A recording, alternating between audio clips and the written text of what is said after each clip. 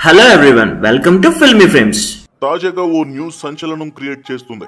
కుటుంబ కథా చిత్రాల దర్శకుడిగా ఇమేజ్ తెచ్చుకున్న ఆ దర్శకుడు రాజకీయాల్లోకి ఎంట్రీ ఇస్తున్నట్టు వార్తలు వస్తున్నాయి. ఆయన ఒక అగ్ర కథానాయకుడికి బాగా దగ్గర స్నేహితుడు.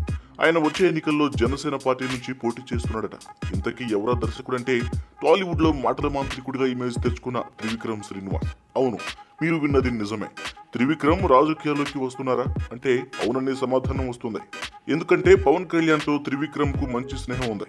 తాజాగా పవన్ కళ్యాణ్ జనసేన పార్టీతో రంగంలోకి దిగేందుకు సిద్ధమవుతున్న నేపథ్యంలో పార్టీకి మరింత క్రేజ్ తీసుకురావడానికి త్రివిక్రమ్ను రంగంలోకి దింపుతున్నాడట పవన్.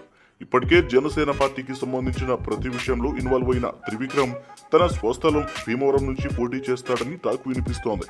మొన్న జరిగిన పార్టీ ఆఫీస్ ఓపెనింగ్ అప్పుడు త్రివిక్రమ్ దగ్గరుండి అన్ని పనులు చూసుకోవడం ఈ వార్త నిజమే అంటున్నారు. ఇప్పటికే జనసేన అభ్యర్థులను ఎంపిక చేస్తున్న పవన్ కళ్యాణ్ త్రివిక్రమ్ని ఫిక్స్ చేసేశాడు అంటున్నారు. ఇప్పుడు ఇంకెవరిని రంగంలోకి దింపుతాడో చూడాలి మరి. ఈ వీడియో మీకు నచ్చినట్లయితే లైక్ చేయండి షేర్ చేయండి. మరిన్ని గాసిప్స్ కోసం సబ్స్క్రైబ్ చేయండి.